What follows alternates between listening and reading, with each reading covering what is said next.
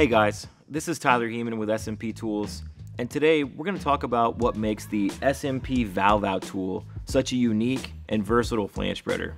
To start, the tool comes in two basic kit components, the interchangeable bolt hole pins that allow you to attack flanges with different bolt hole sizes, and then the tool case itself, which comes with spacer bar segments that allow you to span up to 12 inch outside piping flange to outside piping flange. If you need more spacer bar segments, we have them available for longer lay length valves or meters. When using both sets of spreading plates simultaneously, the out tool can create up to 7 tons of spread force with 50 foot-pounds of the ratchet handle. The valve out tool is a zero gap flange spreader, which means you can use it flange to flange to change one gasket out.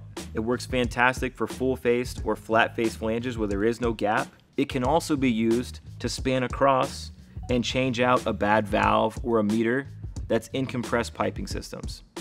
Let me show you how it works. Take your interchangeable bolt hole pins and slip them through the spreader arms. They're held in place with O-rings.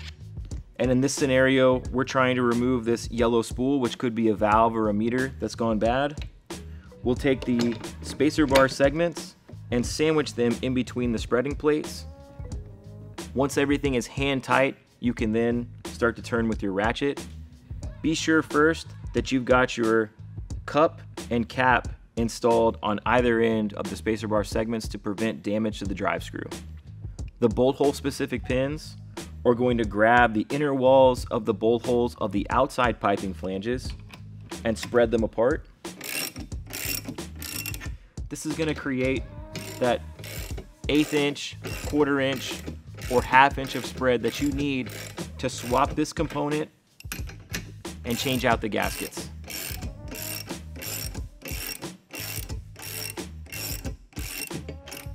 Once you've reached the desired spread, you can drop this valve or meter down, clean the flange faces, and bring your new one in.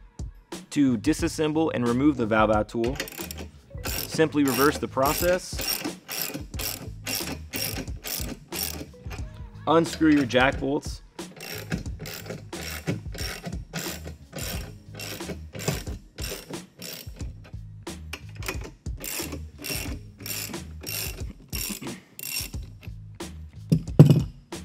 until everything is hand loose.